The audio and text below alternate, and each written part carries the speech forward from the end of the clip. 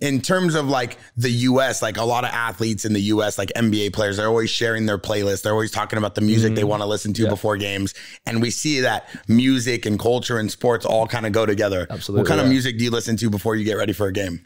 Uh, so I'm like I DJ in the in the changing room. So I've got we have. Wait, you what? I'm the DJ for like the match day playlist. Like, like on an iPod or like turntables? Oh, like an iPod? No, on the turntables. Like you got your, phone, that. Yeah, your I got. iPhone plugged in on Yeah, Spotify. yeah, yeah, yeah. Okay, you scared me for a second. I Yeah. thought I was with Tiesto.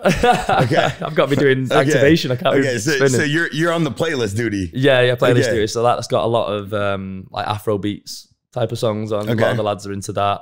Um, a few foreign songs, like your your Portuguese and your Spanish songs. Oh, that's cool. Oh, you mix it up for the you whole got, you have to, yeah. And I like that. That's And then yeah, it'll get to a point where you're like ten minutes before you're going out, we just ramp it up to like a little bit of like dance EDM music and just, Just get it going get a little bit more of an energy going. Yeah, because everyone's been sort of like chilling out, listening to like good songs, singing Yeah. along, and then it's like right, boom. a and when that comes on, everyone know, everyone knows like it's time to go. Yeah, I need. I need. Maybe you could share me that playlist. share that playlist. We could yeah. link that in the pod.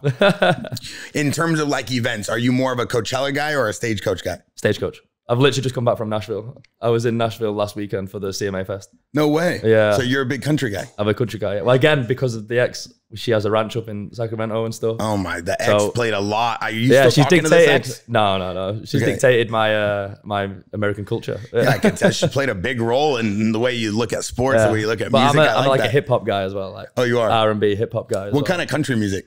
So like the usual big big guys like Luke Combs, Morgan Wallen, they just sort of dictate my playlist quite a lot. Um, Yeah. Zach Bryan, I'm going seeing in Denver this week. You, you got to listen to Brett Young. You listen to Brett Young? I know a few of his tunes. Uh, Yeah, he's got a song just went gold. You didn't. Amazing song. Brett Young's actually an amazing guy. Supports JAXXON. Uh, I, I love everything he's doing and his his concerts, his his festivals. Like when he performs, the the environment's nice. It's a Yeah, good, yeah. friendly environment. Yeah, he's a people, great singer. He's got a great people voice. love his music. Yeah.